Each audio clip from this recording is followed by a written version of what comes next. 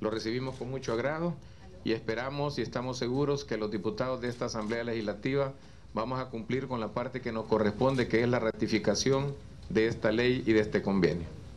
Miembros del Gabinete Económico presentaron ante el Congreso tanto el convenio como el proyecto de ley del Fomilenio 2. El objetivo es iniciar lo más pronto posible con los proyectos de desarrollo de la zona costero-marina, que se financiarán con el segundo compacto donado por Estados Unidos. Un día histórico para El Salvador. El canciller de la República destacó los elementos que permitieron el nuevo desembolso y que ahora está en manos de la Asamblea Legislativa cuando se puede echar mano de esos fondos.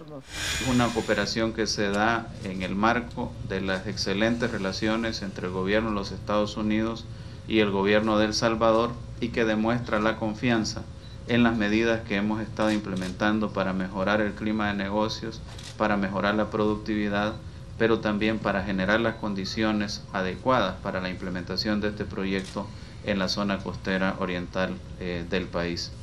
El anteproyecto de ley será enviado a la comisión respectiva.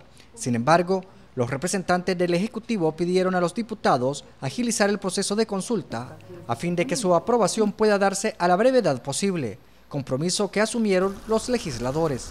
Nos sentimos muy contentos, señor canciller, de poder pasar a la respectiva comisión este documento que se va a convertir en ley de la República y sabemos que esto va a impactar en el crecimiento económico, en el empleo y en la seguridad de nuestro país. Los documentos fueron recibidos por los miembros de la Junta Directiva de la Asamblea Legislativa.